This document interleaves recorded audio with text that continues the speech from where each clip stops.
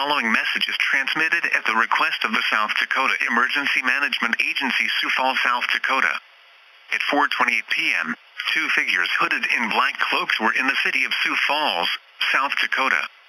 The first individual was 5 foot 2 inches tall, with glowing gray eyes. The second individual was 5 foot 0 inches tall, with glowing green eyes. These individuals are believed to be Serena Evelyn and Harvey Adams, who have previously impacted numerous locations. Although these individuals do not appear to be a threat, get indoors immediately.